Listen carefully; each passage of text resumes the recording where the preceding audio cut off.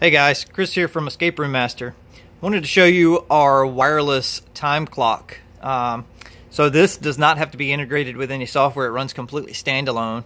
Uh, it's triggered by just a regular key fob. Um, it's got four channels built into it so that it has a start, a stop, a reset, and then an audio trigger also. So once you trigger uh, start, you can trigger the audio to play. Uh, be it 60 minute soundtrack or whatever you want. These are fully customizable to whatever time that you need. Um, if I just simply hit one button, I can start the time. I can actually pause the time or stop the time and then restart if I need to. Uh, I can pause and reset if needed. Um, these are six and a half inch digits, uh, so super visible from across the room if needed.